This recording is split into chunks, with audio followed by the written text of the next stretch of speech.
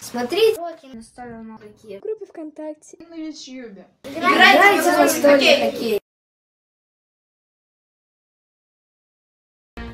And a shine like glass, I'm a bitch. I'm a boss, I'm a bitch, and a boss, I'ma shine like glass, I'm a bitch. I'm a boss. Всем привет! Пару дней пролетело, и наступило время второго урока. Соскучились по мне? Соскучились по мне? Соскучились по мне? Соскучились по мне? Соскучились по мне? Соскучились по мне? Соскучились по мне? Соскучились по мне? Соскучились по мне? Соскучились по мне? Соскучились по мне?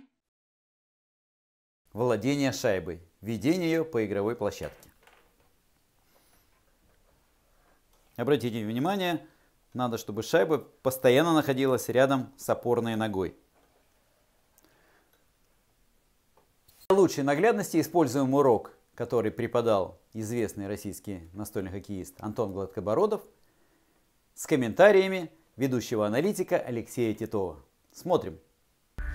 Основным элементом в настольном хоккее является владение шайбой. Попробуйте выполнить упражнение, сначала используя одну шайбу. Выполнение этого упражнения даст вам возможность прочувствовать поляну, да и всю игру в целом. Выполняйте это упражнение сначала медленно, чередуя игроков. Левый нападающий, правый защитник и так далее. Постепенно наращивая темп поворотов миниатюры вокруг шайбы. Следующим этапом в обучении будет непосредственное владение миниатюрой. Для этого поставьте на прорези две шайбы и попробуйте поиграть между ними миниатюрой, сначала одной, потом другой. Это упражнение позволит вам почувствовать, как себя ведет миниатюра с шайбой в разных положениях, в крайне ближнем и в крайне дальнем положении.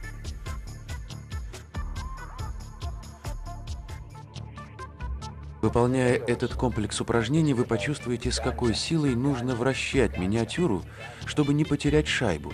Почувствуете силу трения шайбы, скорость движения самой миниатюры. Мастерски владеть шайбой во время игры – основное условие для победы в настольном хоккее. Научиться правильно дать пас от одного своего игрока другому – вот неотъемлемая часть профессионализма настольного хоккеиста, чтобы эту победу завоевать.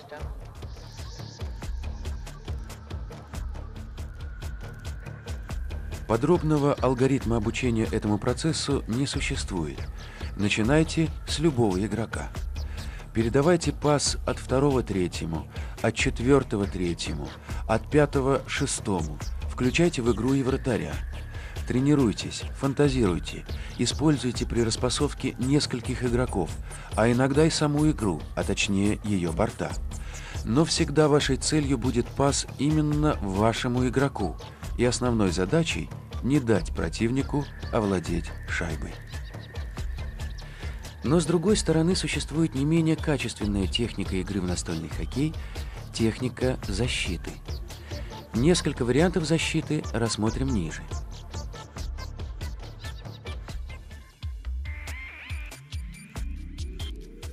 Ну что, пока диктор впал в спячку и, собственно, пространство позволяет, э, видео записано в формате 4 на 3, я попробую развлечь вас своими разговорами.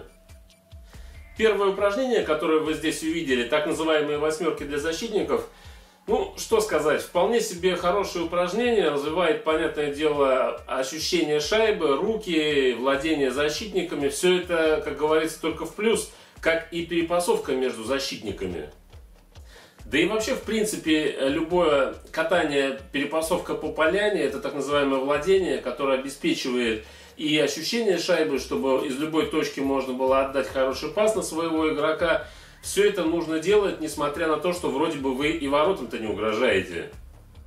Здесь на видео бело-синими финами управляет Антон Гладкобородов. И делает, на мой взгляд, это очень неплохо. Вот это вот фигурное катание в его исполнении выглядит и красиво, и еще раз повторюсь, это полезно для владения, для того, чтобы вы ощущали в каждой точке площадки шайбу хорошо, чтобы ощущали ее отскок и силу паса. Это тоже очень важно. Вот сейчас как раз Антон показывает, насколько это важно, чтобы шайба после вашей передачи не ушла в противоположный борт и в то же время дошла до своего игрока. Ну и далее та самая обработка шайбы левым нападающим в углу площадки. Многие спрашивают, зачем она вообще нужна, для чего вы все это делаете. Я отвечу так. Во-первых, она нужна для того, чтобы почувствовать шайбу. Во-вторых, пока идет эта обработка, вы смотрите за действиями соперника в обороне, как расположен вратарь, как расположен защитник. Ну и в-третьих, она нужна для того, чтобы сделать заезд за шайбу и положить ее на пролесть, чтобы из этого положения уже можно было начинать удобное выполнение вашего элемента, который вы выбрали для своей атаки. Вот Антон показывает более амплитудный вариант обработки, но всегда в начале атаки шайба должна оказаться на дорожке и обязательно прижатой к хоккеисту между клюшкой и опорной ногой. Постараюсь недолго задерживать вас у компьютера, поэтому сразу по окончанию урока переходите к практическому занятию на игровой площадке. Введение шайбы аккуратно, возле опорной ноги, вдоль прорези, чтобы не потерять ее. Все эти упражнения полезны будут даже тем, кто давно занимается, потому что в первую очередь мы, конечно, с вами учились забивать голы, одерживать первые победы над такими же новичками, как вы. Сейчас у вас есть время более детально это все повторить. Тем более, что под рукой у вас может не оказаться подходящего соперника. Вот я, например. Кого сейчас могу взять? Ну вот, например. Во. Подходящий соперник. Мишка. Сыграем?